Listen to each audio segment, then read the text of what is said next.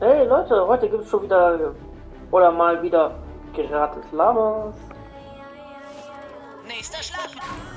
Alles random. Hab ich Also jetzt müsste dass hier auch äh, Silber bekommen. Könnte sein, dass er Gold bekommt oder so wie ich jetzt nochmal den so ein Standard Lama bekommen.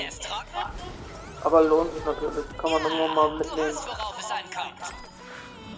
Ich habe ein komplexes Innenleben.